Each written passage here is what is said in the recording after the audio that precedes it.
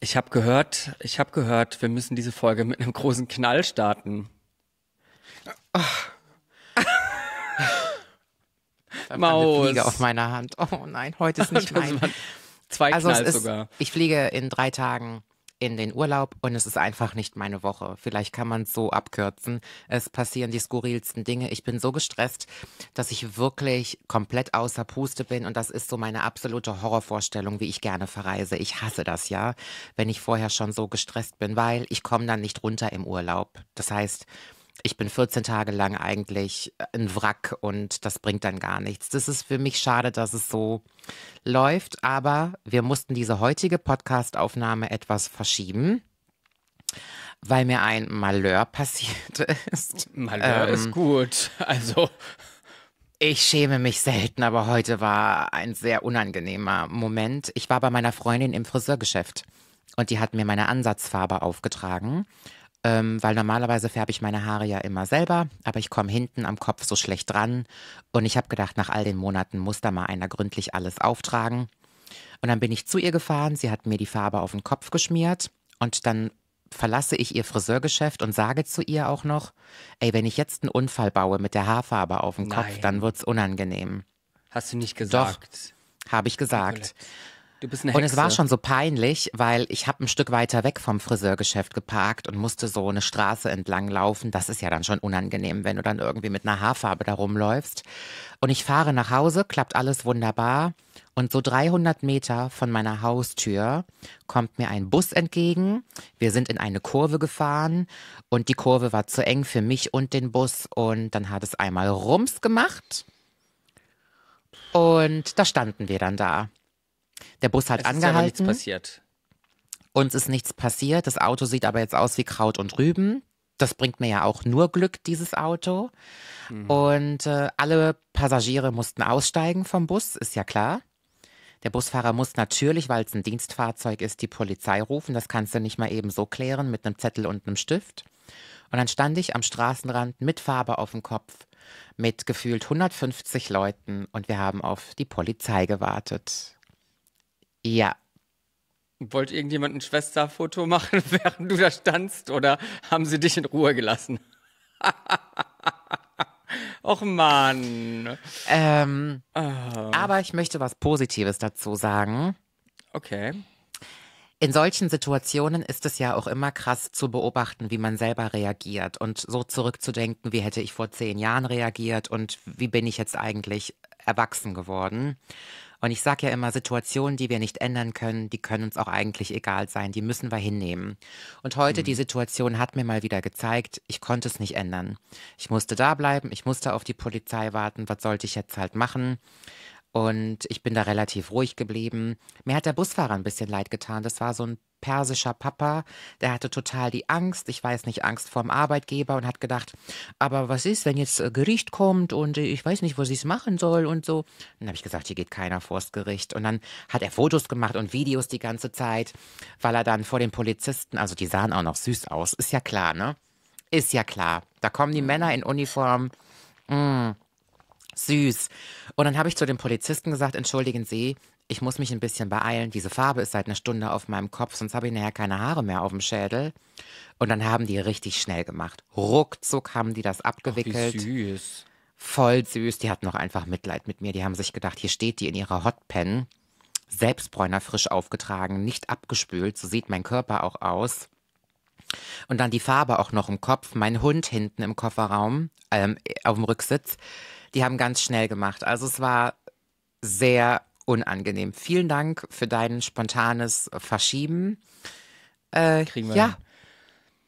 Das war mein sich, Tag. Bevor wir, bevor wir in Teufelsküche kommen, lassen wir die gehen, die Frau, haben sie sich gedacht. Deswegen herzlich willkommen bei Teufelsküche. nee, ist nicht dein Ernst. Ja, da weißt du Bescheid.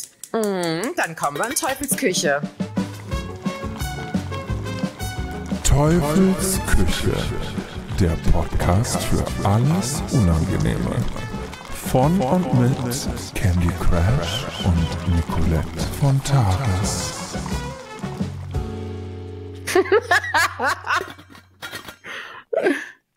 Also was mich jetzt aber brennend interessiert, ist erstmal die Schuldfrage. Gibt es einen Schuldigen? Ähm, hättest du warten müssen? Hätte der Bus warten müssen? Ist die Straße einfach zu eng und keiner hat Schuld? Wie habt ihr das geklärt? Die Straße hat ähm, zwei Kurven. Und bei der einen Kurve, die ist genauso eng, ist es mit Ampeln geklärt, damit sowas nämlich nicht passiert. Ähm, und die zweite Kurve ist komischerweise nicht mit Ampeln geregelt, wobei die, glaube ich, vom Durchmesser vom Radius genau gleich sind. Und wenn einem da der Bus entgegenkommt, musst du das per Augenmaß quasi dich drauf einigen, wer bleibt jetzt stehen, wer lässt wen durch. Deswegen halte ich das für schwierig. Aber es ist die Zufahrt zu mir nach Hause. Also ich fahre das dreimal am Tag. Und ich habe das leider schon des Öfteren beobachtet, dass es da gekracht hat, genau in dieser Kurve. Äh, weil Busse können, die Kurve ist groß, also da passen auch drei Autos nebeneinander, aber halt ein Bus, der braucht ja, der hat mehr Volumen. Du hast ja aber auch einen sehr, sehr guten Draht in das Bürger, ähm, Bürgermeisterrathaus. Das heißt, du kannst jetzt direkt mal vorsprechen und sagen, lieber Bürgermeister, so geht das nicht. Es kann nicht sein, dass ich hier einen Unfall baue, weil ihre Straße zu eng ist und das Nee, nicht mit weißt der du Ampel was? geklärt ist.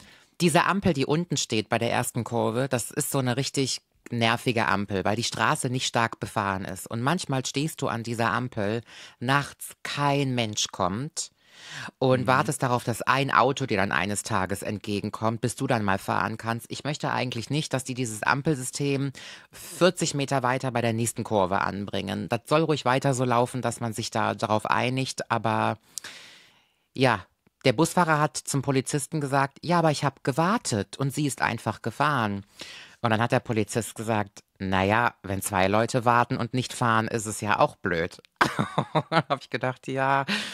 Und dann hat er gesagt, ähm, schreiben Sie das auf, was die Frau gesagt hat. Sie ist einfach gefahren. Dann habe ich zu dem Mann gesagt, Sie müssen sich doch, Sie müssen sich das, Sie müssen sich doch keine Sorgen machen. Wir sind doch beide versichert. Ihr Arbeitgeber ist doch auch versichert. Sie müssen keinen Eigenanteil bezahlen. Ich halt schon. Wahrscheinlich 1000 Euro bei dem Schaden, den ich jetzt habe, Selbstbeteiligung. Scheiße. Aber ja, wie das halt ist, du kriegst jetzt Post und dann kannst du den Kram ausfüllen. Am Ende wird niemandem die Schuld zugeschrieben und beide Versicherungen zahlen den eigenen Schaden. Ist ja immer so. Was willst du halt auch machen? Ist natürlich jetzt auch ein beschissenes Timing, ne? Kurz vorm Urlaub, weil das würde ja jetzt in den nächsten Tagen irgendwie alles geklärt werden im Idealfall. Wie machst du denn das? Ist das Auto jetzt in der Werkstatt oder konntest du noch mal heimfahren damit? Nee, nee, das, das Auto ist fahrtüchtig. Es ist Ah, nicht okay, zerbeult. okay. Es ist Einfach nur komplett. Es ist, nein, nein, nein, nein. Es Oh. ist von, von vorne bis hinten ist der Bus einmal an mir vorbei. Also wenn du denkst, die müssen so ein Teil austauschen, die müssen vorne austauschen, beide Türen austauschen, hinten austauschen, Kunststoff vom, von der Radverkleidung. Es ist einmal komplett Makeover. Aber soll ich dir was sagen? Dann lohnen sich die 1000 Euro wenigstens. Ja, einmal neu. Wie ging es So. dir denn in dem Moment? War das wie, Ich also war erstmal ein peinlich. Schock, oder? Wenn du, hattest du schon mal einen Unfall? Ich hatte mal einen richtig schlimmen Unfall, ja. Magst also du es nicht erzählen? vergleichbar. Ja, kann ich erzählen, wenn du kurz gesagt hast. Also wenn man im Auto sitzt und man wird geschrammt, das knallt ja immer zehnmal so laut. Das ist ja immer ein richtiger Knall. Und was interessant ist, auch wenn es manchmal nur Kleinigkeiten sind, so ein Auto ruckelt auch immer so. Das erschreckt einen dann, dann doch. Naja, ich bin dann rechts in so eine Einfahrt reingefahren, damit ich die Straße nicht blockiere. Und dann sagt der nette Busfahrer zur Polizei, sie hat Vorderflucht begangen. dann sagt der Polizist, zum, da sagt der Polizist zu mir, sind Sie weggefahren? Sag ich, nein, ich stehe ja hier. Da sagt er, ja, sind Sie wiedergekommen? Sag ich, nein, ich stehe ja hier. Ich bin in die Einfahrt reingefahren, um die Straße frei zu machen. Da sagt er zum Busfahrer, das ist keine Fahrerflucht, die hat nur die Straße frei Oh Gott. Ich glaube, dass der, ein, der hatte einfach nur Panik, dass er Anschiss Ganz doll. bekommt, ne? Und ich muss ja. auch dazu sagen, man hat natürlich gemerkt, dass er einen Migrationshintergrund hat und er war wirklich so am Reden und ganz hektisch und so richtig aufgelöst war er. War, dann hat er noch gesagt, Sie müssen mir glauben. Und dann habe ich gedacht, oh, die Polizisten waren auch so freundlich und so nett. Es ist ja auch nicht so, dass ihm einer nicht geglaubt hätte. Aber dann habe ich zu ihm gesagt, Sie müssen sich keine Sorgen machen. Wir sind beide versichert und das macht Ihr Arbeitgeber. Der ist doppelt und zehnfach. Also so ein Busunternehmen, Taxiunternehmen, die sind ja immer versichert gegen alles und jeden. Das ist nicht schlimm, was passiert ist. Ja, was un- mir mal passiert ist, da war ich, ähm, ich glaube so Anfang 20, in, das war in Karlsruhe, als ich mit meinem Onkel gefahren bin. Also er ist gefahren, ich war Beifahrer und wir sind abends von meiner Oma nach Hause in die Stadt gefahren Und dann sind wir über die Südtangente, heißt das bei uns, das ist die Stadtautobahn, die so die Stadtteile ver verbindet. Da sind wir dann mit 50 oder 60. Wir wollten halt, du kannst dann da vorne ab, ab da vorne 80 fahren. Da sind wir dann halt in die Richtung gefahren mit 50, 60 über eine Ampel und uns ist auf der anderen Spur gegen, äh, auf der gegenüberliegenden Seite ein Auto entgegengekommen und statt dass das an uns vorbei geradeaus weiterfährt, parallel, hat das die Kurve genommen auf der Kreuzung und ist uns voll ungebremst reingefahren, sodass es uns gegen einen ähm, Ampelmast geschleudert hat, ungebremst und dann der Ampelmast im Prinzip das Auto so gespaltet hat und mein Onkel hatte mm -mm. den Motor, ja, ja, mein Onkel hatte den Motor zwischen den Beinen, ähm, ich habe den Ampelmast Mast, äh, Ampelmast schon fast geküsst. Natürlich ähm, äh, das ganze Frontschutzscheibe rausgegangen, äh, alles in Scherben und, und ich lieg da in den Scherben drin und es ist absolut nichts passiert. Also ich hatte eine Prellung, äh, irgendwie einen steifen Nacken für ein paar Tage und mein Onkel genauso. Ähm, wir sind da mit einem äh, richtig großen Schrecken davongekommen. Aber diese 0,3 Sekunden, wo es da das Auto irgendwie gegen diesen Ampelmast äh, ungebremst geschleudert wird, ne, mit 60 km/h, das, also die Leute sagen ja immer, dass einem so der, das Leben wie ein Film nochmal vor Augen abläuft. Das war exakt genauso. Das war verrückt, wie viele Milliarden Eindrücke auf einmal in meinem Kopf vor meinem Auge waren. Und ich gedacht habe, das war's jetzt. Und das war abgefahren. Also das war schon fast eine Nahtoderfahrung, ohne dass ich äh, tot war. Das war crazy. Da hatte ich auch irgendwie zehn Schutzengel, hat meine Oma immer gesagt, ja. Ja, Und war das, das für so dich danach ein Problem, wieder ins Auto einzusteigen oder Nö. war das okay? Nö, ich bin ja nicht selbst gefahren damals, weil ich war ja nicht der Dumme. ich habe das gesehen. Ich habe, ich habe und ich habe noch zu ihm gesagt, pass auf. Und er, äh, also wir waren halt gar nicht in der Schuld, aber ich habe schon gesehen, die da vorne, die, die fährt so schnell und ich habe irgendwie habe ich im Gefühl gehabt, dass die uns jetzt schneidet und statt geradeaus weiterzufahren, dass die jetzt die Kurve nimmt und abbiegt. Die hat aber auch nicht geblinkt und nichts, sie ist einfach abgebogen. Und ich weiß ja. nicht, warum ich das gespürt habe. Hatte sie, hatte sie Schäden danach, also körperliche?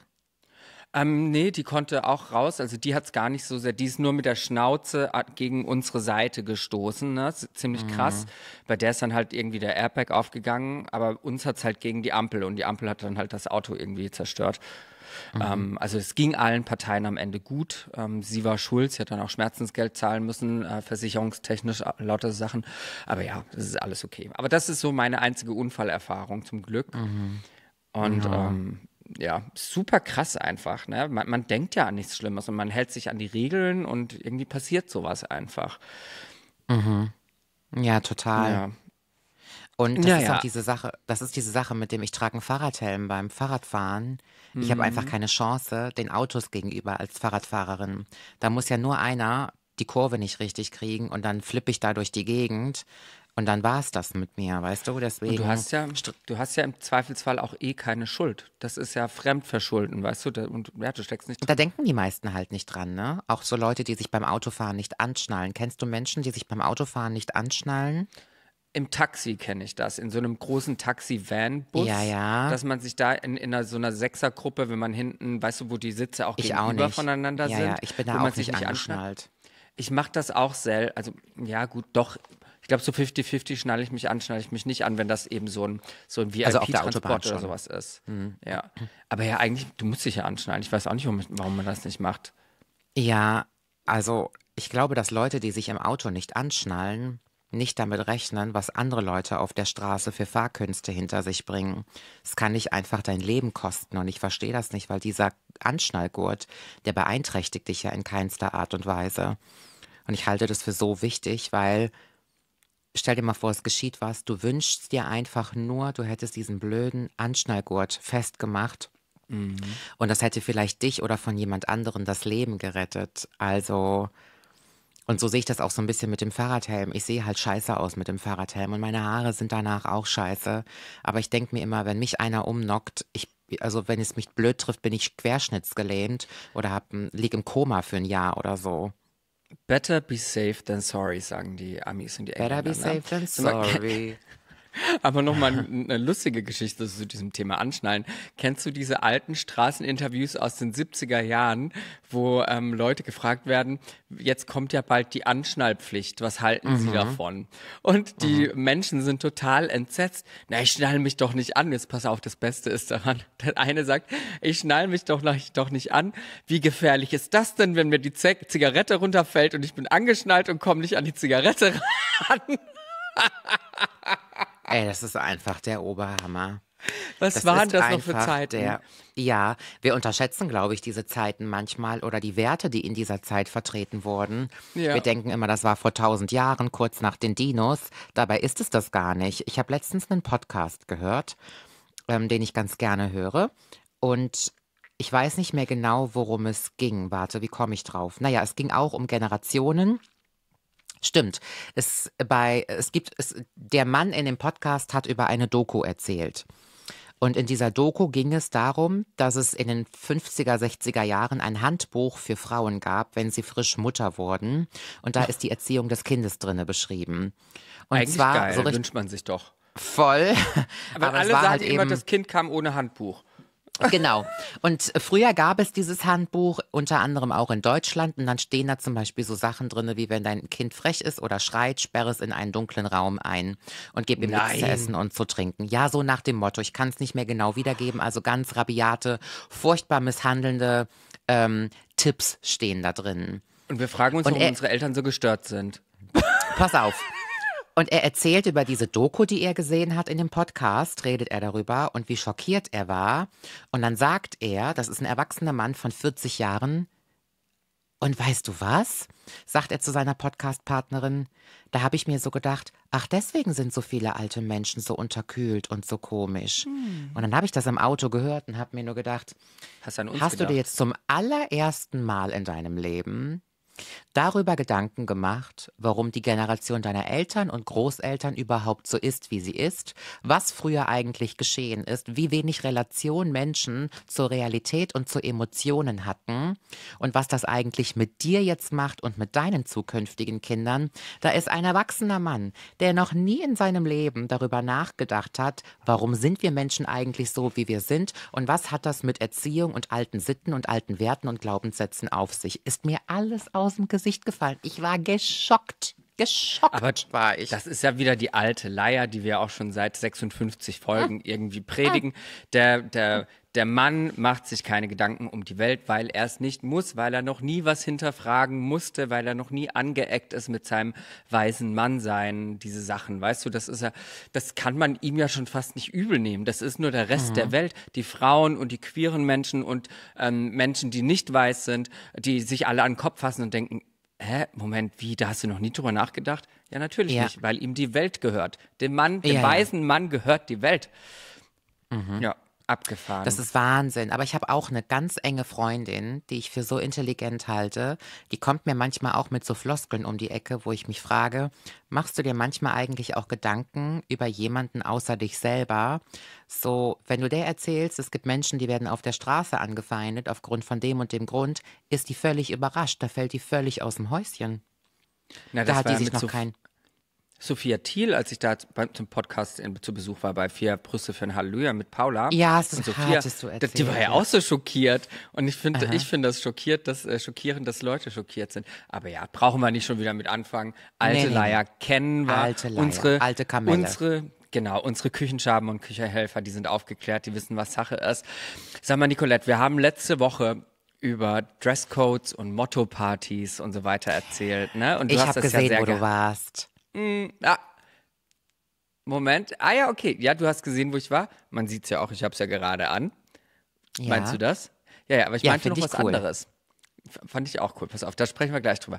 Aber ich musste an dich denken, weil ich am Wochenende zu einer Jugendweihe eingeladen war. Aha. Und für alle, die nicht wissen, was eine Jugendweihe ist, Jugendweihe Musst du ist erklären. für Gibt's im Westen Genau. nicht. Ist für die, ähm, die Kinder, die Jugendlichen, die nicht getauft sind, die weder katholisch noch evangelisch in Deutschland getauft sind, die haben meistens im Osten so eine Art Möglichkeit, äh, das nachzuholen, nur eben nicht religiös. Das ist dann ähm, da Der Sprung ins Erwachsensein. Genau, so äh, Debütantinnenball im Prinzip. Wie in Debütantinnenball. Schön erklärt. Genau. Das ist ja das Gleiche. macht- Genau, das macht man so mit 14, 15, da wird das Erwachsene, der Gang ins Erwachsenenalter gefeiert. Und da war ich eingeladen von ähm, der besten Freundin meines Freundes. Und wir waren so eine Gruppe von 30 Leuten und wir kamen als letztes. Wir haben natürlich den großen Auftritt genießen müssen und sind 20 Minuten zu spät gekommen. Die Jugendweihe, der, der Teil, der eigentlich in der Kirche stattfindet. In der Jugendweihe ist es dann in verschiedenen Locations, wie so Event-Locations. Ne? Ähm, da waren wir nicht dabei. Wir sind dann erst zum Essen gekommen. Das war auch so abgemacht weil nur die Familie ähm, zur Jugendweihe kommen könnte. Das war ja sehr streng limitiert. Das ist ja oftmals so, ne? dass da die Plätze knapp sind. Und dann kamen wir 20 Minuten zu spät zum Essen. Und ich komme da rein, jeder einzelne Tisch mit hellblau dekoriert. Der, äh, das komplette Dekozeug ist hellblau. Und ich gucke mich um, alle 28 Leute tragen hellblau. Und ich stehe hier in komplett schwarz-weiß, mein Freund komplett in schwarz-weiß. Und wir so, äh, äh, ist das eine Gender Reveal Party gewesen oder was? Entweder das oder hat uns hier irgendjemand ja, die, Schlimm, die Schlümpfe feiern gegeben? Geburtstag. Ja. Ja, und dann waren die alle in Blau und ich habe mich äh, irgendwie komisch gefühlt, weil ich gerade erst noch mit dir drüber gesprochen hatte, dass ich sage, ja, natürlich ziehe ich mich dann immer gerne entsprechend zu diesem Motto an. Ich hätte mich super gefreut, irgendwie was Blaues anzuziehen. Hätte Wusstest ich das gewusst, du das? Aber nein, uns hat keiner Bescheid gegeben. Und dann habe ich herausgefunden, dass die Familie sich blau angezogen hat. Keine Ahnung, warum man das getrennt hat. Verstehe ich nicht, muss man auch nicht verstehen. Aber ähm, ich falle ja gerne auf. Daher war mir das dann auch wieder gar nicht unangenehm, sondern ich habe mich gefreut, dass ich der Einzige bin, der nicht blau anhatte, sondern richtig hot aussah. Und wie war das sonst so? Die, die das war, war schön? Mm, naja, es war halt einfach so ein, so ein gesetztes Dinner oder Mittagessen mit ähm, Aperitif und danach nochmal ein Dessert und dann gab's abends noch eine Käseplatte. Das war von 14 bis 18 Uhr, also sehr gesittet, sehr einfach. Es war eigentlich nur das Mädel dabei, die halt jetzt 14, 15 ist und ihre Verwandtschaft. Ne? Und ähm, das, ja, das war super nett. Es ist ja irgendwie, ja, das war unspektakulär. Es wurde eine mm. schöne Rede gehalten von der Lecker? Mama, die ich ähm, es gab nicht so viele vegane Optionen, aber ich habe mir, ich habe mir was zusammengestellt. Das hat funktioniert. Okay. Ich finde ja okay. da immer Wege. Ne? Ich finde es okay. aber auch schwierig, bei so einer Gruppe da jedem gerecht zu werden. Deswegen motze ich da auch nicht rum und ich verstehe das, dass das nicht jeder versteht und bla bla bla. Mhm. Ich versuche da immer so unterm Radar zu bleiben und keine Szene zu machen. Nicht so wie, wenn man auf einem Event eingeladen ist, wo explizit gesagt wird, wir gucken, dass es was Veganes gibt und ich deswegen absolut nichts esse davor, weil ich denke, ich will ja dann beim Essen essen. Aber bei so Aktionen, da, da gönne ich mir so einen Snack mal vorher, damit ich dann irgendwie nicht im mm. Notfall so einen leeren Bauch habe. Aber ja, da hatten wir Jugendweihe und keiner hat uns gesagt, dass der Dresscode blau ist. Ähm, das war das. Und dann war ich gestern, genau, du hast es schon gesagt, ich war gestern beim Launch-Event von Tom und Bill. Die haben zusammen mit McDonalds ein ähm, ein Menü gebracht, ein Menü rausgebracht. Und da gab es auch einen Dresscode, der war einfach nur Glamour. Also es war relativ einfach. Und ich habe mich nackig gemacht und dann so ein Paris Hilton Glitzer-Dress angezogen. Und dann sah ich aus, als ich in den Spiegel geguckt habe, in meinem Kopf habe ich die Femme Illusion gehabt und dann gucke ich in den Spiegel und ich sehe aus wie Ken, der sich mal in Barbies Kleiderschrank bedient.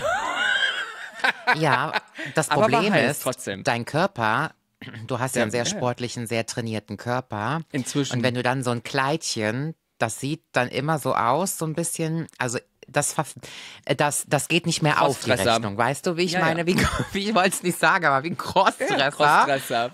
Ja, ja, also dieses, du hast dieser, du hast jetzt kein zartes Körperchen mehr. Das muss man sich einfach eingestehen.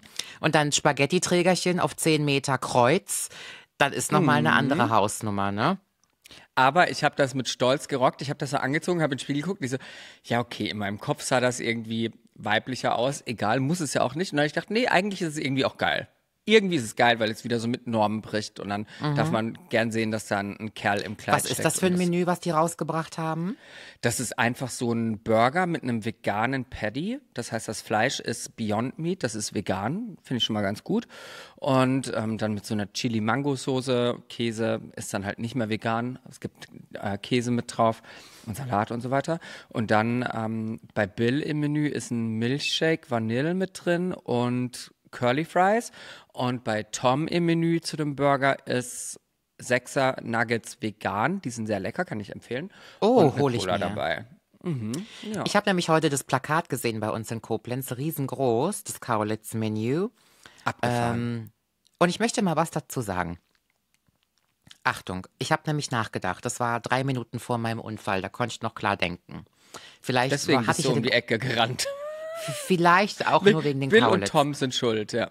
Wir reden ja sehr, sehr oft über Marketing und Werbung und den richtigen Werbepartner aussuchen oder halt eben auch nicht und Kai Pflaume und so weiter. Wenn es Kai Pflaume nicht ist, fragen sie halt Günther Jauch, um nicht anzuecken und so.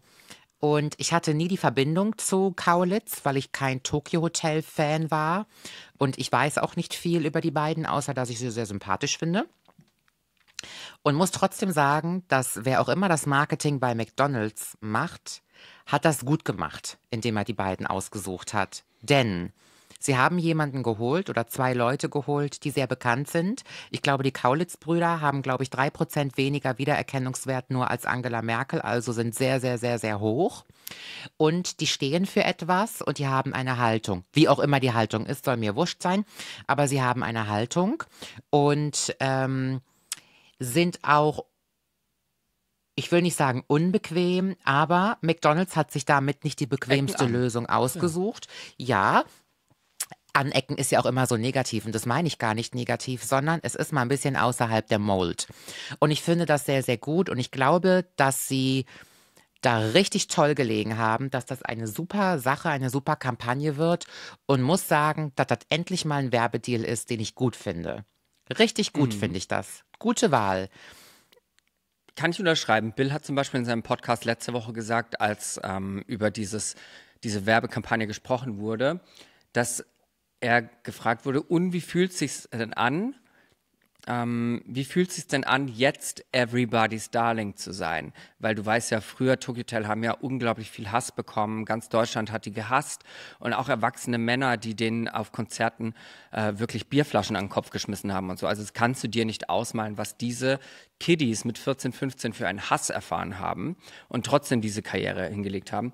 Und jetzt haben die ja nochmal so ein zweites Karrierehoch mit, mit, mit Heidi, mit Gastjuror bei Topmodel, dann der, einer der erfolgreichsten Podcasts. Musikalisch läuft es auch wieder besser. All diese Sachen, äh, die sind wieder überall zu sehen.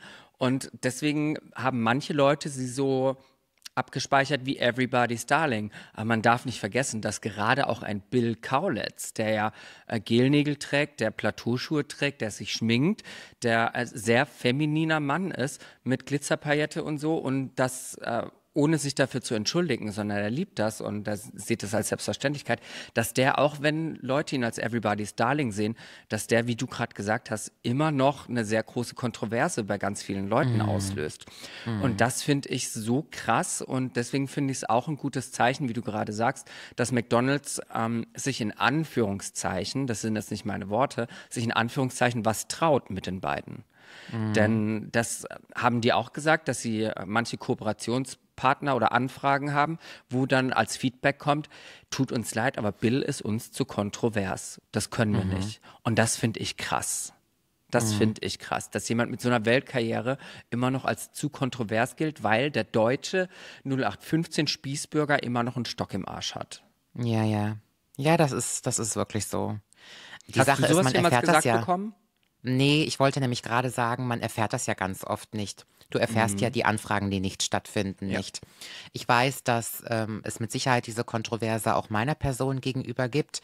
Die größten Karriere, äh, ich sage es vorsichtig, Schwierigkeiten hat mir aber Haute gebracht. Für Sextoys Oh. zu stehen und Sextoys zu bewerben und zu verkaufen, über Sex zu sprechen. Und das ähm, oder auch, auch mit die Orion vorher? Ja, ich denke schon, da ist es mir nie so bewusst gewesen. Aber Mhm. jetzt so im Nachgang, wo ich ja sehe, was es für Marketingmöglichkeiten gäbe oder Werbepartnermöglichkeiten gäbe und auch jetzt zu den Zeiten, wo ich manchmal eine Anfrage stelle, also es gibt auch Menschen, mit denen würde ich gerne zusammenarbeiten, die sagen nein. Die sagen natürlich nein, wir haben gerade keine Kapazitäten, frag gerne Mhm. nächstes Jahr nochmal, unser Werbebudget ist gerade aufgebraucht. Aber auch darauf das Jahr und darauf das Jahr gab es das nicht, ist nichts zustande gekommen.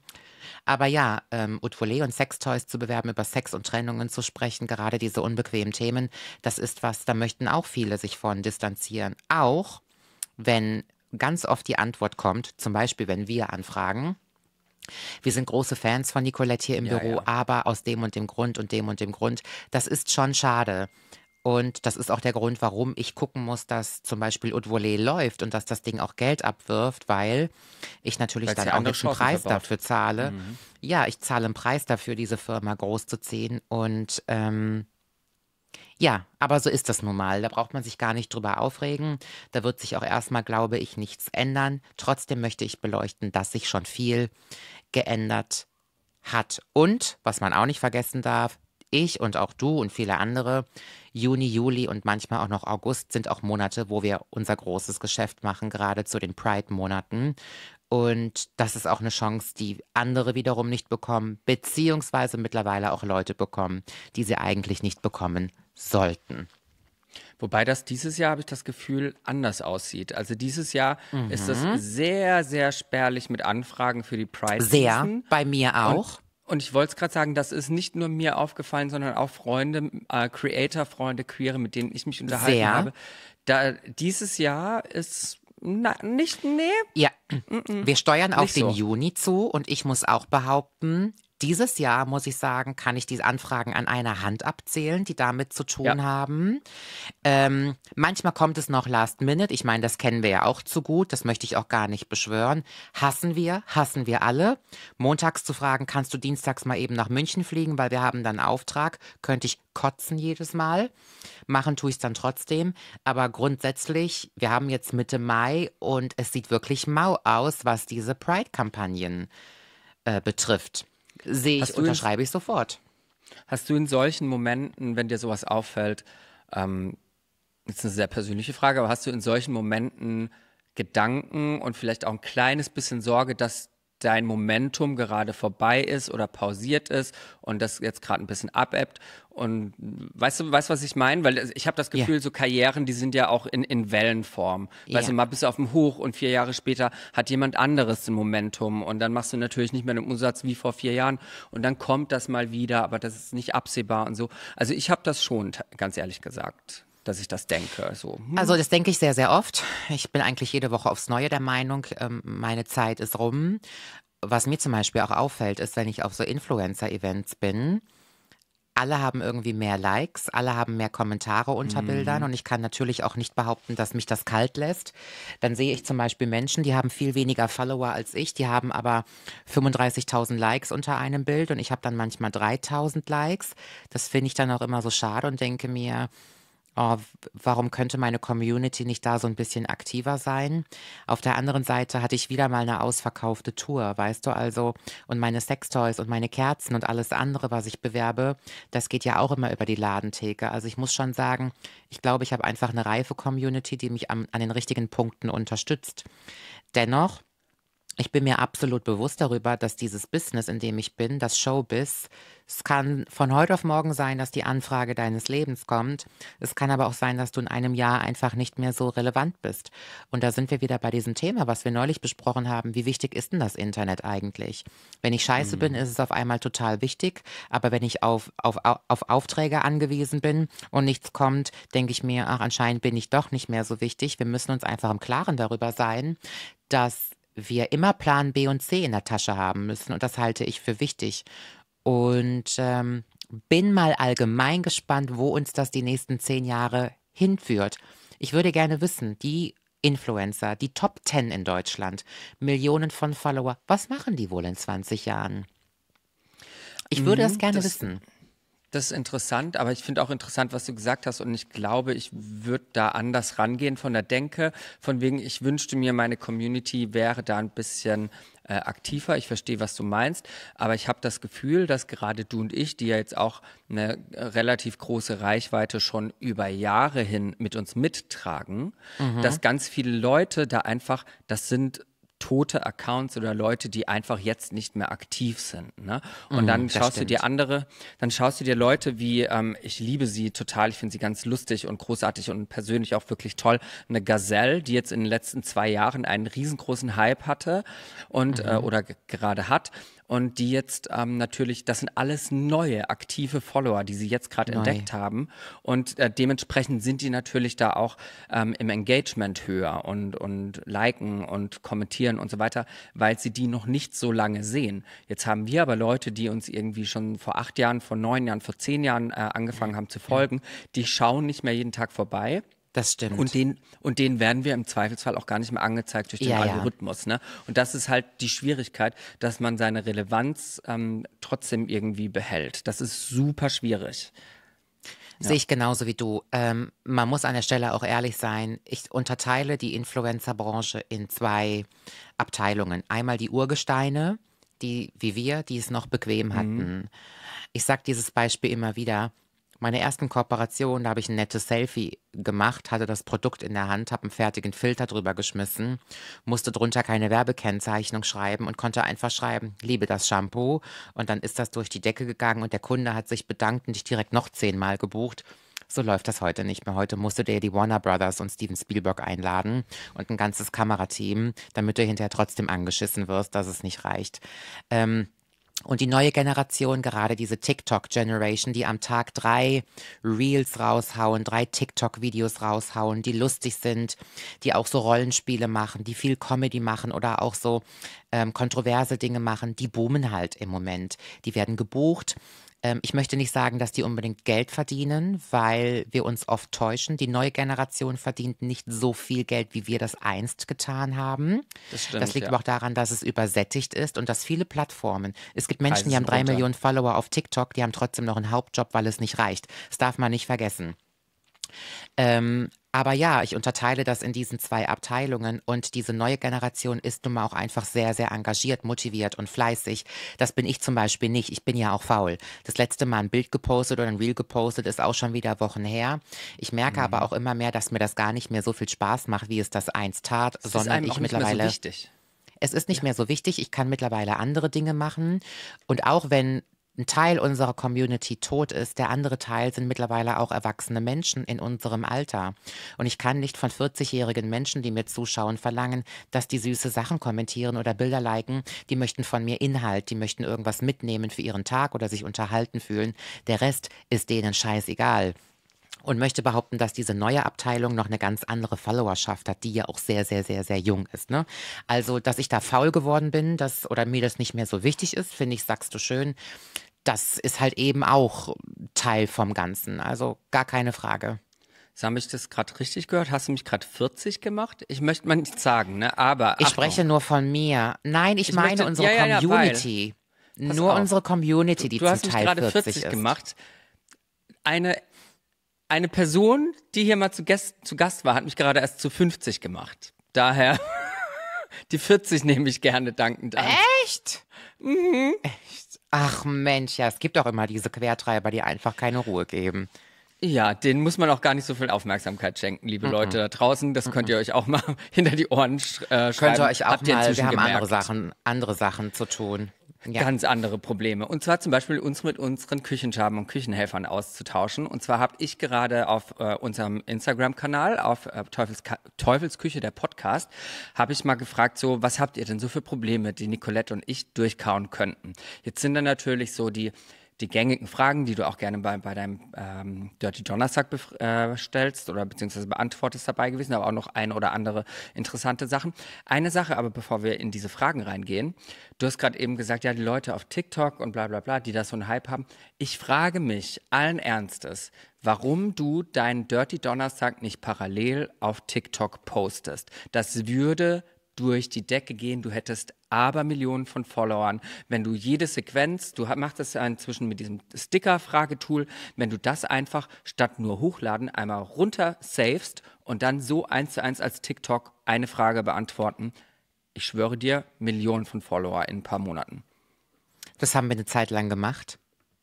Oh. Wir haben das, glaube ich, sogar ziemlich lange gemacht. Ein Jahr hatte ich jemanden, die hat für mich die Videos abgespeichert und dann bei TikTok hochgeladen und auch nochmal fein säuberlich die Frage reingeschrieben.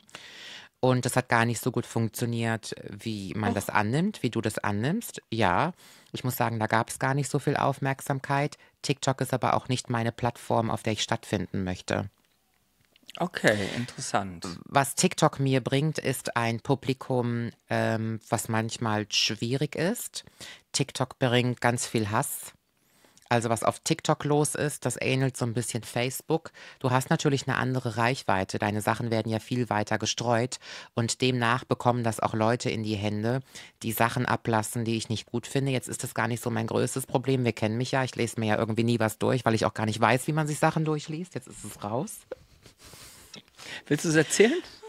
Nee, aber manch, ich, letztens war irgendwas, ich sollte irgendwie auf einen Kommentar antworten. Ich wusste gar nicht, wie ich in die Spalte reinkomme. Also für alle, die mich in Kommentaren beschimpfen, ihr müsst mir erstmal erklären, wie ich die Beschimpfungen finde. Deswegen bin ich auch immer so relaxed. Deine, deine SIM-Karte, wo du auch nicht richtig Ach, da kommen wir gleich hast. zu, Mann. Mein Technikwissen ist auch fürs Arschloch. Aber ich möchte nur kurz sagen, dass TikTok nicht meine Plattform ist. Ich kann das gar nicht genau beschreiben. Das ist nicht meine Zielgruppe, mein Publikum. Das ist mir zu aggressiv da. Ich fühle mich auf Instagram sehr wohl. In meinem Kopf gibt es auch immer noch dieses Instagram von vor sechs, sieben, acht Jahren. Dieses wunderschöne Instagram, was es einst war, was so viel Spaß gemacht hat. Und ähm, ja, so. Period. Ja, du fliegst bald in die USA und hast überlegt, wie mache ich das dort mit Datenvolumen? Ach, ach. Als ich heute beim Friseur saß, saß meine Freundin, sagte meine Freundin, als sie mir die Haare färbte, wir haben über mein Talent, mein Talent gesprochen, dass ich gut schreiben kann und Sprache gut kann und so. Und da hat sie mich gefragt, was sind denn deine Schwächen, was kannst du denn nicht so gut? Da habe ich zu ihr gesagt, Jana, alles, was mit Technik zu tun hat. Ich bin wirklich eine Techniklegasthenikerin. Ich, ich kann gerade so meinen Laptop anmachen. Ich glaube, wenn mein Handy ausgeht, würde ich es nicht mehr anbekommen. Ich fliege nach Amerika und habe die Community gefragt, wie ich das SIM-Kartentechnisch lösen kann. Denn als ich nach Thailand flog oder Vietnam, bist du am Flughafen zu so einer Bumsbude gegangen und für 15 Euro haben sie dir die SIM-Karte ausgetauscht, alles eingestellt und hat das Internet bis unters Dach für kleines Geld. Daraufhin hast du mir eine Plattform empfohlen. Wir können die ja auch ruhig mal nennen. Die heißt Holerfly. Liebe Und das hast nicht- Jahren. Ja, haben mir sehr viele empfohlen, muss man dazu sagen. Also du bist nicht ähm, die einzige Person, die das toll findet, haben mir viele Follower geschrieben. Und eine eSIM, das wusste ich vorher gar nicht, ist quasi eine digitale SIM, die automatisch auf dem Handy gespeichert wird. Und das klang für mich erstmal ganz toll. Brauchst du keine SIM-Karten irgendwo kaufen, bestellen und austauschen. Und dann habe ich die gekauft. Super einfach. Du gibst einfach nur an, wie viele Tage du im Urlaub bleibst und wo und kannst die bezahlen und dann hast du sie auf dem Handy. So, Jetzt habe ich die vorzugsweise ja schon mal installiert, weil da stand, man braucht eine gute WLAN-Verbindung. Jetzt wusste ich nicht, habe ich denn dort eine WLAN-Verbindung, um das zu installieren? Und zack war das Ding auch installiert, ging ruckzuck. Und das Blöde ist, ab jetzt laufen schon meine Streaming-Tage.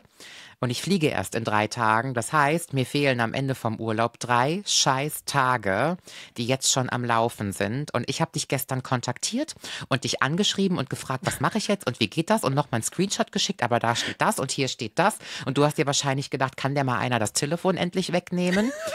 naja. Auf jeden Fall habe ich jetzt eine amerikanische eSIM im Handy und die würde auch funktionieren, wäre ich jetzt in Las Vegas. Hättest du auch einfach mal gelesen, was ich dir geschrieben habe vor drei Tagen, dass du warten sollst mit dem Aktivieren? Scheiße. Ja, naja. Die Sache ist, Danach- installieren und aktivieren ist ein Unterschied bei dieser Firma. Da steht, installieren Sie das Ganze, aber aktivieren Sie nicht das Ganze. Und meiner Meinung nach, ich habe ja jetzt das Streaming für die USA ausgeschaltet, heißt das für mich, dass es nicht aktiviert ist. Ja, sehen wir dann mal, ne? Schauen Sehen wir, wir mal. dann mal. Es bleibt Aber ich habe ja auch Angst, dass nebenbei trotzdem noch mein deutscher Anbieter am Streamen ist, am Roamen ist, Roomingen ist und dass ich dann hinterher 7000 Euro zahle. Ich habe so Angst. Ich kenne mich ja nicht aus. Nee, musst du einfach ausschalten, habe ich dir gezeigt. Ich werde am Samstag, Mm, bevor du fliegst, nochmal Notfall ähm, ähm, Technik-Support machen und das kriegen wir hin und ähm, da bin ich, bin ich bei dir. ich mache das ja schon seit. Jahren, wie gesagt. Thank you. Ähm, pass auf, unsere lieben Küchenschaben und Küchenhelfer haben uns Fragen gestellt zu ihren Problemen und ähm, das sind relativ viele, die wir auch, glaube ich, relativ gut beantworten können. Ich werde alle anonym halten ähm, und ich habe hier schon die erste. Ich glaube, die hast du wahrscheinlich auch schon, na, ich weiß nicht, ob du sie so schon mal hattest. Hier steht, hallo ihr Lieben, also hier wurde ganz vielen Emojis gearbeitet. Ich versuche zu äh, übersetzen parallel. Hallo ihr Lieben, meine Mama mag meinen Mann oder Boyfriend, ist jetzt nicht ganz definiert, äh, nicht. Sie ist richtig fies zu ihm. Haben schon darüber gesprochen, es hilft nicht. Was soll ich tun? Das ähm, finde ich kacke von der Mama. Und ich frage mich, warum sie ihn denn so scheiße findet. Das wäre jetzt eine wichtige Side-Info, finde ich. Das wäre, also wenn du mir die Info noch geben könntest, warum sie deinen Freund nicht mag. Ihr habt ja schon mal gesprochen darüber. Dann wird das nochmal helfen, das Problem irgendwie zu erörtern. Denn wenn sie ihn nicht mag, weil sie der Meinung ist, der ist ein schlechter Mensch und er hat schlechte Werte und so weiter und der ist nicht d'accord mit den Werten, die du sonst lebst, dann würde ich nochmal in mich selbst reinhören und gucken, was die Mama denn da vielleicht Ehrliches an sich hat. Ansonsten bin ich der Meinung, die Mama hat sich da rauszuhalten, weil es dein Leben ist. Was sagst du da dazu?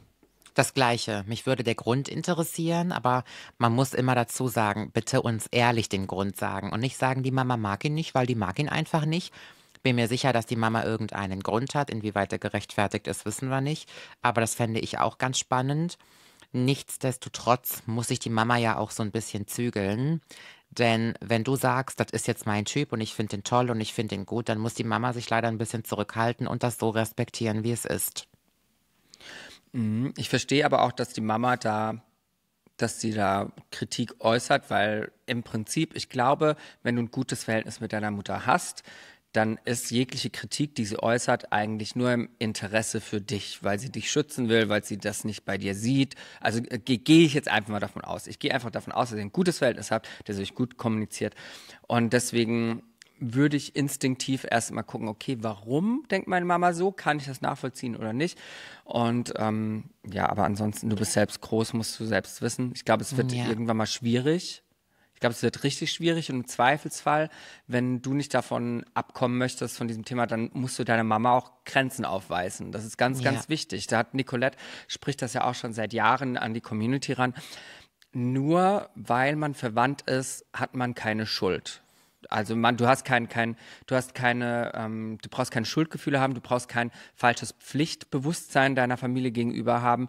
Ähm, du bist ein, selbst ein erwachsener Mensch. Was in der Kindheit war, war in der Kindheit. Jetzt sind wir alle erwachsen, können miteinander sprechen. Und wenn es deine Eltern nicht schaffen, mit dir erwachsen umzugehen und äh, deine Entscheidungen zu respektieren, dann finde ich das schon schwierig. Denn du musst ja auch die Entscheidungen deiner Eltern respektieren und tolerieren. Ne? Also du redest da ja auch nicht rein im Zweifelsfall.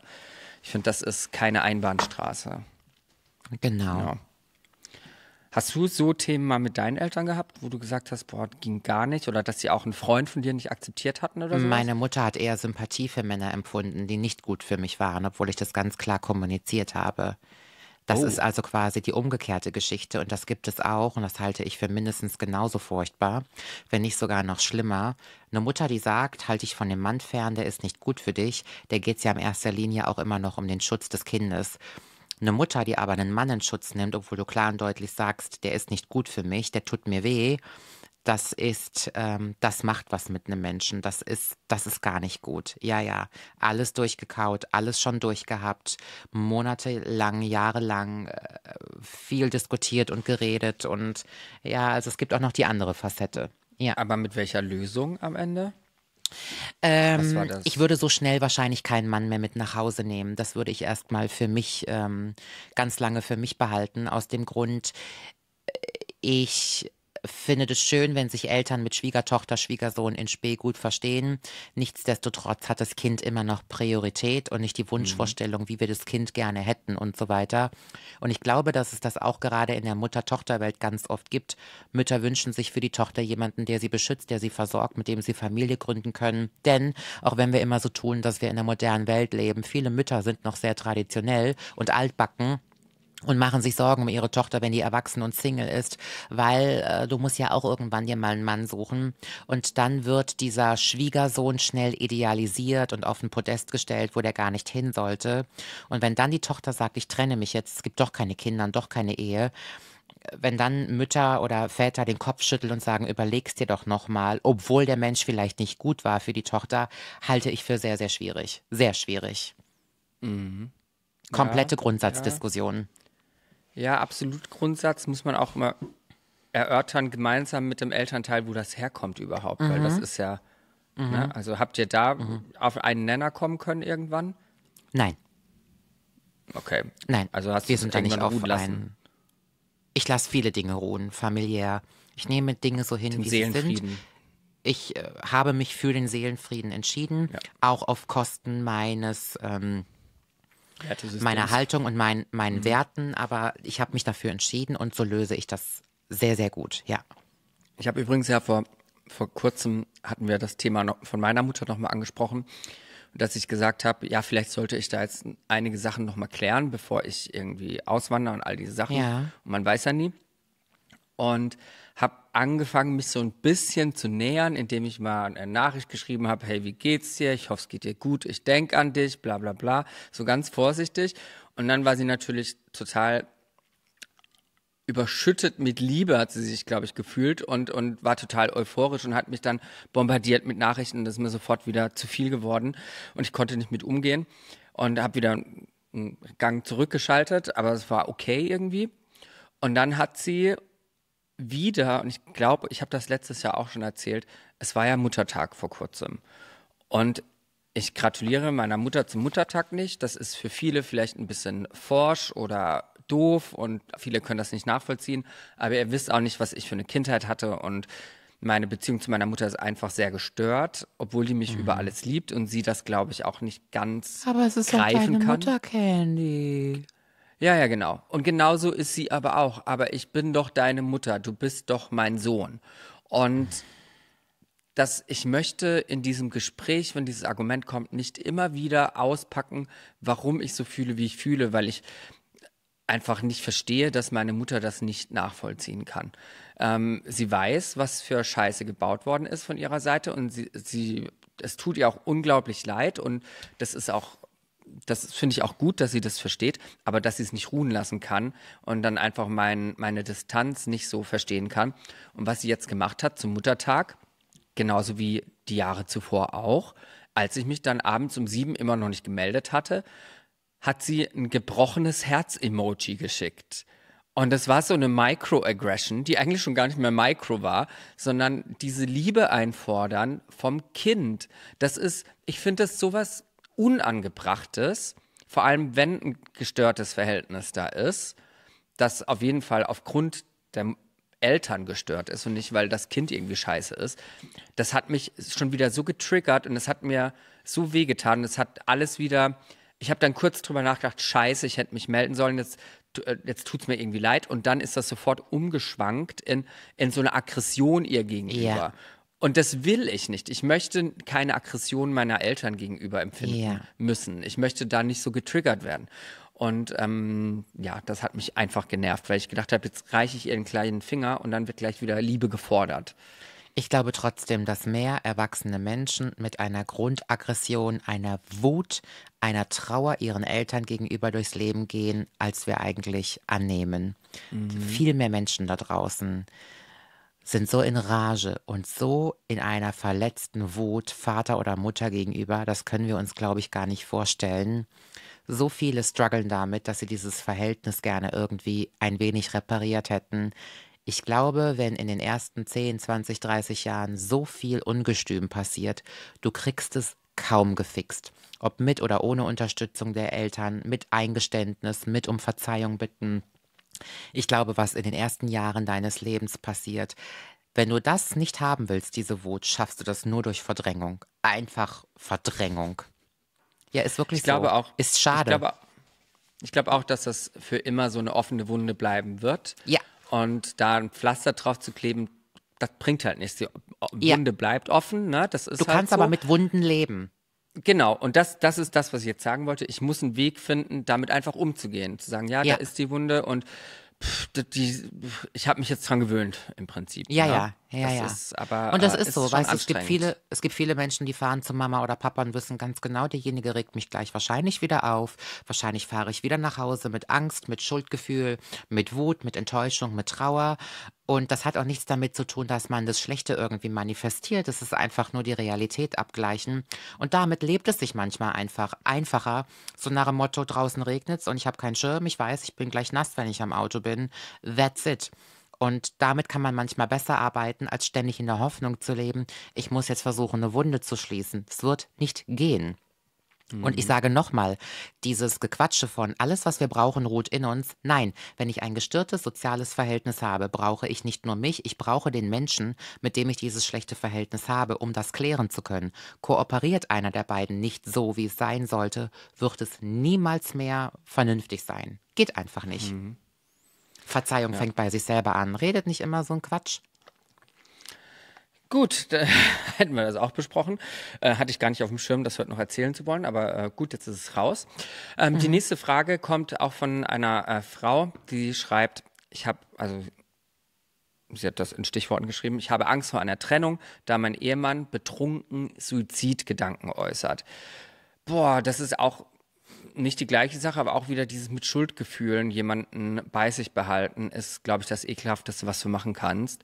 Ich würde dir sagen, raus da, wirklich raus da, renne, sage ich dir. Ich glaube nicht, dass, also du fü- fühlst dich ja schon unwohl, allein, dass du Angst vor einer Trennung hast, sagt ja schon, dass du schon längst abgeschlossen hast.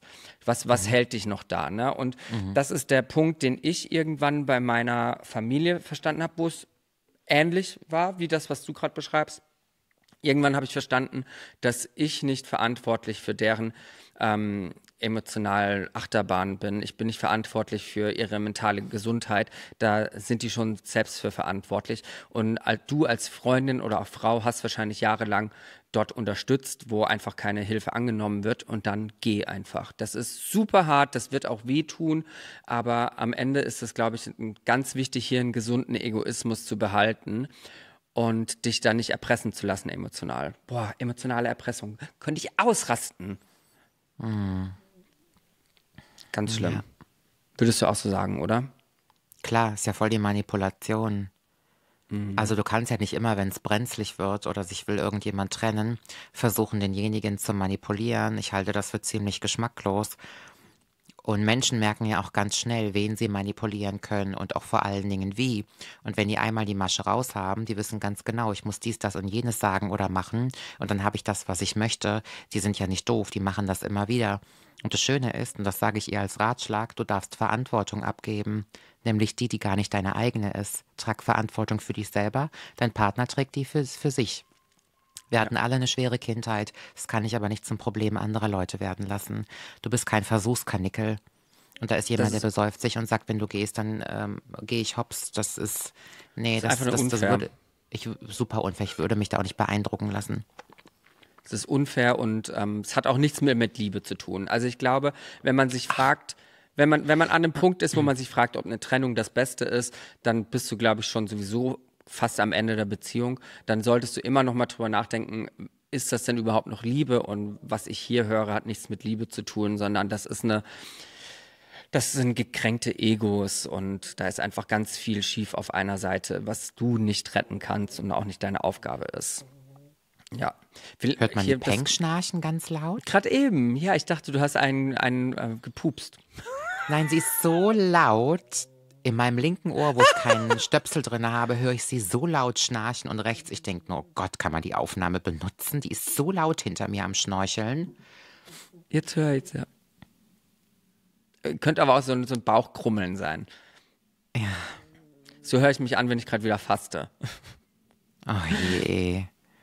Die nächste Frage geht so ein bisschen einher mit der Frage zuvor, denn wenn du, wenn du Probleme hast, dich zu trennen, wenn du emotional erpresst wirst, dann stimmt ja irgendwas auch mit deinem eigenen Selbstwertgefühl nicht. Wenn du äh, wüsstest, was du dir selbst wert bist, würdest du dir so eine Frage gar nicht erst stellen, sondern würdest gehen, weil du es verstanden hast, dass das nicht deine Zeit wert ist. Ne?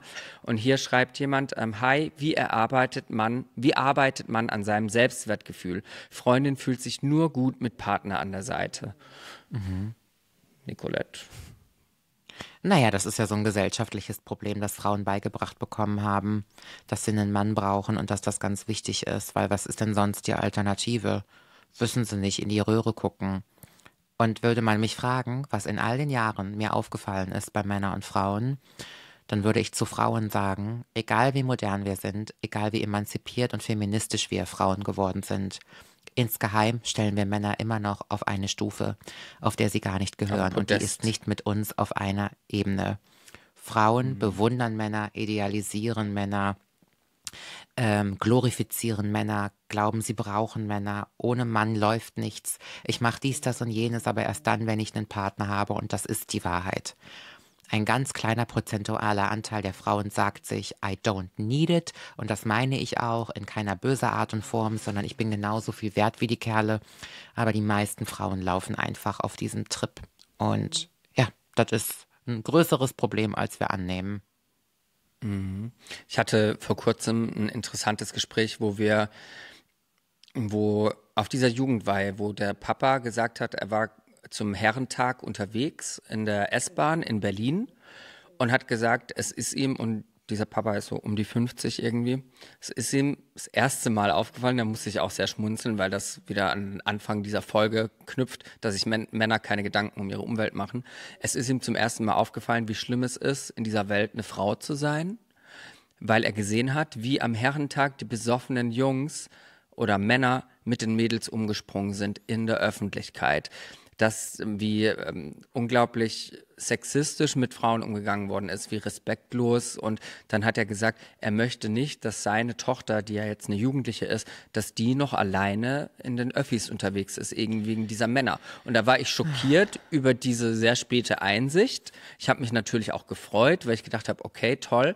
Und dann hat er, hat er gefragt, was kann man denn da machen?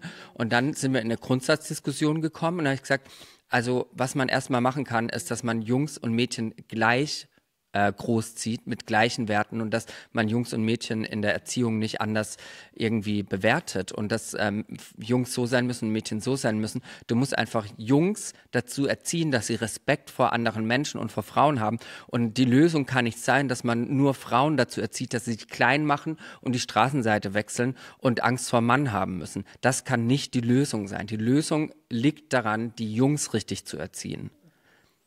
Ja. Unglaublich. Aber weißt du, ich glaube, der Feminismus hat alles getan in den letzten Jahren, was nur geht. Und jetzt brauchen wir den letzten Schritt und das ist die Unterstützung von Männern. Und der findet nicht statt, dieser letzte Schritt. Und was Männer auch tun können, ist, ihren Mund aufzumachen und den Männern, wenn sie beobachten, dass die scheiße sind zu einer Frau, ihren eigenen Geschlechtsleuten sagen, halt deine Fresse und behandle jetzt die Frau mal respektvoll, rede nicht so mit der. Aber das machen sie einfach nicht, weil Männer ihren eigenen Wert über die Anwesenheit und Erscheinung anderer Männer ausmachen. Die wollen sich da nicht unbeliebt machen, das ist einfach so. Und ohne die Unterstützung von der männlichen Stimme, die immer noch stärker ist als die der Frauen, kommen wir jetzt auch keinen Zentimeter mehr weiter. Das wäre ja vielleicht auch schon mal ganz nett. Weißt du, als ich den Unfall eben hatte, standen da auf einmal so viele Autos, die nicht weiterfahren konnten. Stand ja mitten ein Bus in der Kurve. Und dann sind so zwei Männer ausgestiegen, so richtig schön aus der Mitte der Gesellschaft mit ihrer Handwerkerkluft. Und dann stehen die neben mir und dann sagen die, ist es jetzt so schlimm, dass wir nicht weiterfahren können oder was?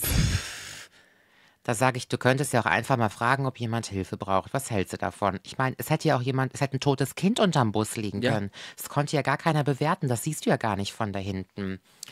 Und es waren dann mal wieder erwachsene Männer, die alle Handwerker sind, alle groß und stark, die niemals fragen würden, ob sie irgendwo helfen können. Keine Unterstützung. Es zählt natürlich nicht für eine breite Masse, es waren halt jetzt eben zwei und diese zwei haben nun mal ihre Stimme dafür genutzt, mehr Ärger zu machen. Und ich finde das einfach so erschreckend, weil ich denke, ey, ihr wisst doch ganz genau, wie es um euch steht. Ihr müsst jetzt mal langsam eure Stimme erheben, um einen positiven Beitrag zur Gesellschaft zu leisten. Und nochmal, ich finde Männer so toll und so wichtig, aber es ist einfach absolut an der Zeit. Wir brauchen jetzt die Stimme der Kerle für was Positives. In jeder Art und Form. Wenn da zehn fremde Männer sind, die dich auf der Straße beschimpfen, kannst du alleine nichts auslösen. Du fängst dir höchstens noch eine, wenn du dich wehrst. Kommt der elfte Mann daher, der sagt, hört auf mit der Scheiße, benehmt euch mal ein bisschen, hättest du viel größere Chancen, dass sofort Ruhe im Karton ist und den Mehrwert, dass das eventuell bei einem von den Zähnen nicht von den Zähnen nicht nochmal funktioniert, weil die untereinander ein ganz anderes Kommunikationstool haben und sich weitaus mehr respektieren. Aber das passiert ja einfach nicht. Die finden das ja auch noch witzig. Aber wem sage ich das? Wir reden von Männern, die sich an Silvester Knaller und Böller kaufen für teures, für teures Geld, anzünden, in den Himmel schießen und unten stehen und sich freuen. Ich, äh, vor kurzem, das muss ich jetzt noch kurz äh, abschließend erzählen, bevor wir ins Dessert gehen. Im Fitnessstudio, im Gym, hin und wieder habe ich da auch mal so einen netten Smalltalk irgendwie mit anderen Leuten. Und da war so ein, ein der wird 18 gewesen sein, Südländer, hübscher Kerl, gut trainiert. Und der hat mich irgendwas gefragt, weil er irgendwie ans Gerät wollte. Und so haben wir dann ein, zwei Worte miteinander ausgetauscht. Und der war super lieb und respektvoll. Und ich habe mir gedacht, was für ein gut erzogener 18-jähriger Junge. Ganz, ganz toll. Dann habe ich den zwei Tage später mit seiner Gruppe Jungs neben mir trainieren gesehen, hab den erlebt. Nicolette, das war ein anderer Mensch. Das war also Erziehung Goodbye, wie die über Ja, Frauen ja. und über Mädels gesprochen Ja, hat, dann hat aus diesem netten, gut erzogenen, höflichen Jungen sind so Worte gekommen wie, ja Mann, die Alte will nur von dir gestickt werden. Du musst, die, mich, musst die mal richtig sticken, bis ich mal gecheckt habe, was der meint mit äh, eine Alte sticken. Mir, wirklich, mir sind die Ohren vom Kopf gefallen. Ich habe gedacht, das kann nicht sein. Was ist denn unter Männern los, dass sie denken, dass, äh, dass man so über andere spricht und dass das okay ist irgendwie. Da- Das unterstreicht doch nicht deine Männlichkeit, dass du Frauen klein machst und degradierst. Dadurch bist du doch nicht männlicher in so einer Gruppe. Ganz, ganz seltsam. Das müssen wir den Jungs beibringen und zwar schon ganz, ganz früh in der Erziehung. Das ist ganz, ganz wichtig. Liebe Muttis und Papis da draußen, wenn ihr kleine Kinder habt, bringt das euren Jungs bei, was respektvoller Umgang miteinander ist. Ja. gut. Damit Männer gehen wir ins er erobern Ja? sich ihre Männer erobern sich ihre Reputation nur unter Männern und die, wie sagt man, der Geldwert, den sie dafür nutzen, ist die Frau. Und wenn man sich das mal Mhm. auf der Zunge zergehen lässt, welche Art von in, in Anführungsstrichen Handel das ist, da versteht man ganz schnell, wie der Ablauf in männlichen Rudeln ist. Das ist sehr aufschlussreich. Vor allem, weil das, was du gerade gesagt hast, sie holen sich ihre Bestätigung im Männlichsein bei anderen Männern ab. Das Ab- ist ja schon der, absolut. Das ist ja schon der große Fehler, Mhm. weil, weil sie dadurch Männer und Frauen anders werten. Die Bestätigung einer Frau ist nicht so viel wert wie die eines anderen Männer, äh, Manns, Mhm. wenn es um die Männlichkeit geht. Und das ist ja der ganz, das ist ja absurd. Naja. Ja, ja. Äh, Mit, mit, mit diesem absurden Gedanken, vielen Dank, dass ihr dabei wart. Nicolette, wir Ja. entlassen dich äh, offiziell in den Urlaub und nehmen jetzt auch nochmal 30 Minuten weiter auf. Ähm, ich hoffe, du hast einen wunderbaren Urlaub, äh, während diese Folge läuft. Ähm, und wir Bin hören ich uns noch nächste da? Woche wieder. Du bist noch da, denke ich, ja. Okay, tschüss. Bis dann. Ciao. Tschüss.